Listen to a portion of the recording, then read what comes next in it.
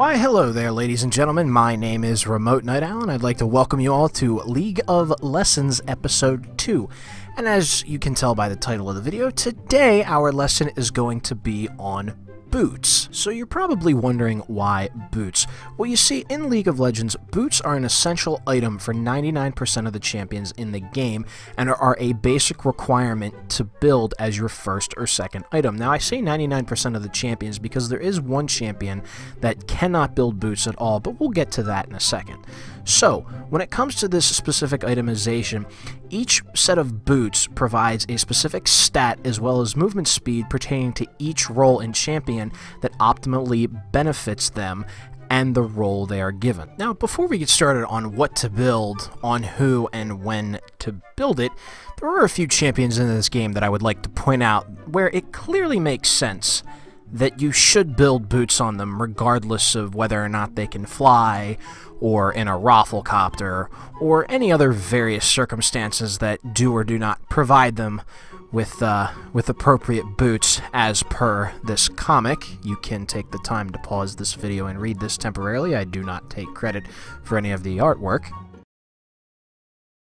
Now, there are several champions in this game where it clearly, clearly makes sense that they should be buying boots, and one of those champions where it makes sense that they should be buying boots is Cassiopeia.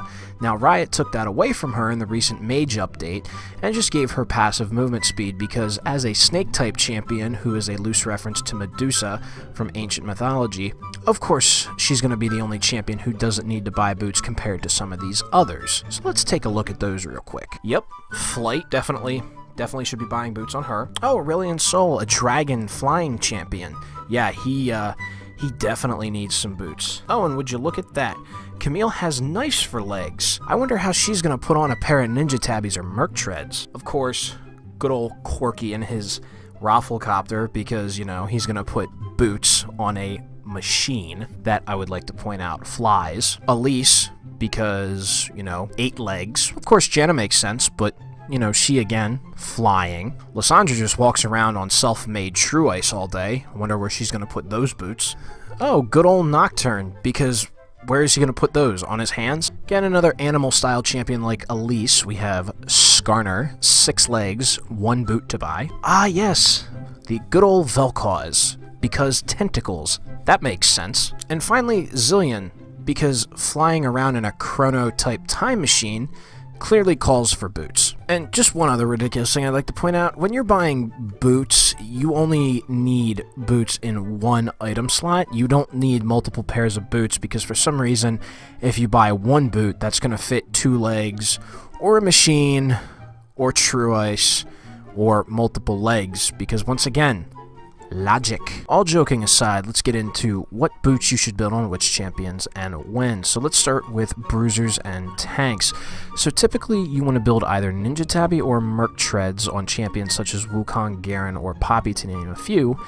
And these boots do the following. Ninja Tabi grants armor and damage reduction from auto attacks, and Merc Treads grants magic resist and tenacity. So typically against teams that have a 3 AD or more, you want to build Ninja Tabi, and against teams that have high crowd control, with the exception of knockups, and 3 AP champions or more, typically you want to build Merc Treads. So the next two sets of boots we have are actually for AP champions, and those are Sorcerer's Shoes and Ionian Boots of Lucidity. So Sorcerer's Shoes grants 15 magic penetration, and Ionian Boots of Lucidity grants 10% cooldown reduction, as well as cooldown reduction for all summoner spells.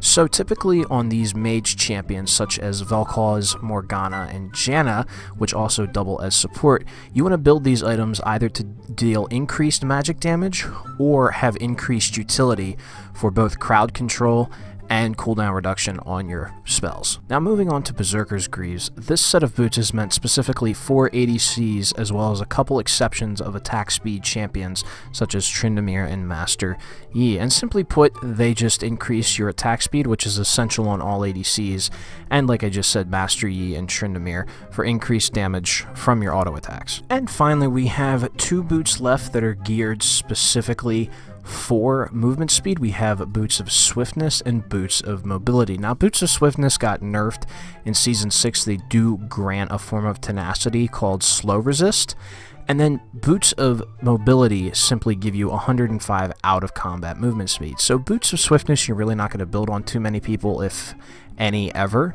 But Boots of Mobility, you're going to be building on high ganking, high pressure junglers such as Lee Sin and Sejuani because the engage as well as the pressure it provides when it comes to ganking is really crucial with that 105 movement speed buff. Well, ladies and gentlemen, that is it for today's episode of League of Lessons. Stay tuned for next week's episode where we'll be covering Keystone Masteries.